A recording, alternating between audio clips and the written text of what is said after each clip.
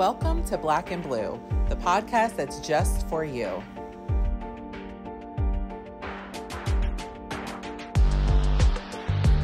We bring solutions to everyday problems.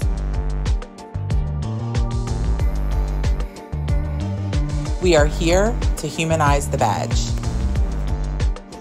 By interviewing first responders and discussing their trainings, experiences, and publications.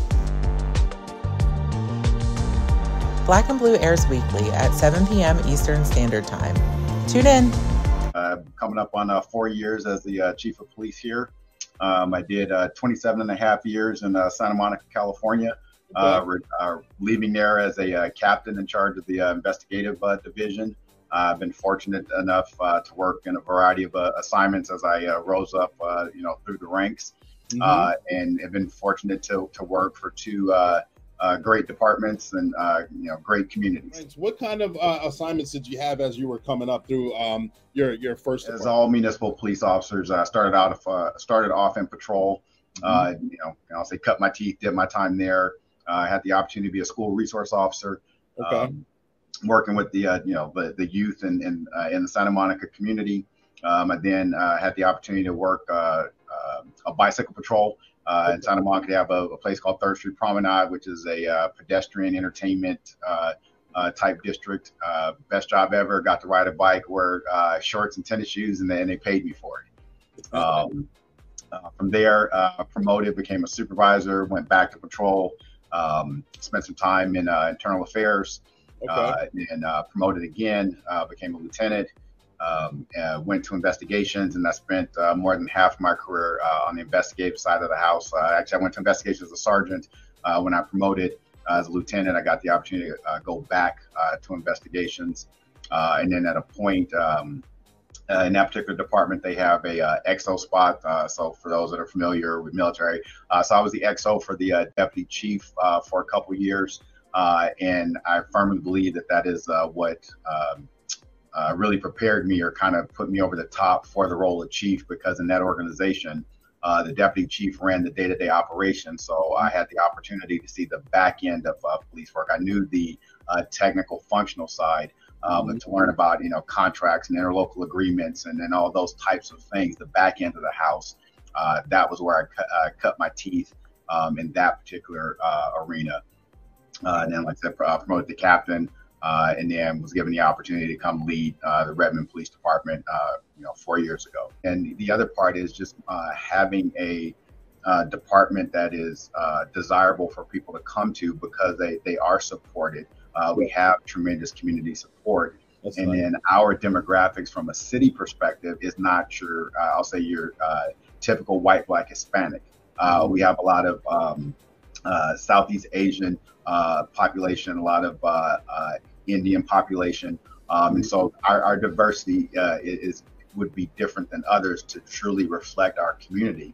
And the, the challenge from a recruitment perspective there is uh, for some of these other uh, uh cultures, uh, law enforcement is not a desired profession. And again, right. we are in the tech uh, area, both between, like I said, the tech companies that exist, but we also have a tremendous um, space um, uh, industry here. So we have a lot of uh, very uh, highly technical, highly specialized uh, employment, and those are are the jobs that some of uh, you know some of our demogra- uh, some of the cultures and demographics that we have here in Redmond they tend to gravitate towards, and that is more valued in their culture. So you're you're fighting against.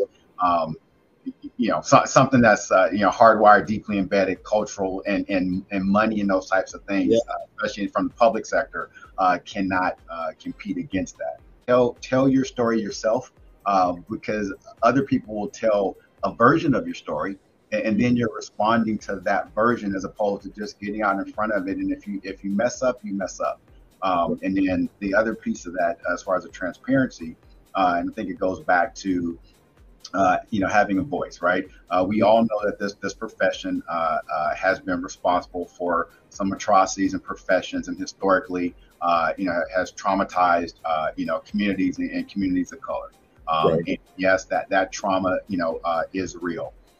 But if we can't come to the table and have conversations, yeah. how are we ever going to get beyond that? We, we have to create new experiences. Um, we can't deny the past, but we can create a, a different and better future together. But we have to be willing to come sit down and have those hard conversations. Right. Um, my approach to it is this, and I, and I say this, um, you know, to any uh, anyone in my community that, that I'm engaged with. If you think there's someone that I should have audience with, let that be known, and I will make myself available. Granted, there's 24 hours a day. I'm one person, but I, I rarely ever say no to an opportunity to engage and have a conversation with folks, mm-hmm. uh, because that's the only way we're going to I, I won't say change the narrative. That's the only way we're going to create a better experience moving forward uh, on both sides. Because I also need to hear what is occurring in my community. I, you know, I, I, have no illusions that I, as a chief, know everything that's going on in my organization. Um, but I can't bury my head in my office and think, oh, just because I don't have complaints, just because I don't have lawsuits and all that type of thing, that everything's going smoothly. Right. That that that's um, that that's naive right? Uh, yes. But if I get out and stay out in the community and I have conversations with folks and I sit down and talk to my staff about what's going on, that's going to keep me truly informed uh, as to what is really happening.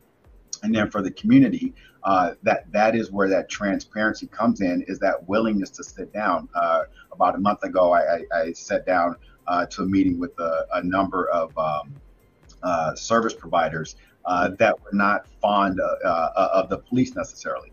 And for an hour and 15 minutes, I, I, I listened. I, I, did not say a single word. I, I listened. And when it finally came, you know, my turn, they even commented, wow, chief, you, you, you took a lot. Yes, yes, I did. And, and my conversation with them was, okay, you guys identify as the leaders of these um, you know, marginalized and, and oppressed groups. Um, you know, uh, and I won't say in your opinion, right? Because that that that is their perception. So therefore, that, that that is their reality. Right. So I challenge them. I go, so what have you done, or what are you willing to commit to do to bring those groups to the table so we can engage in this dialogue and, and have a better path forward? Hmm.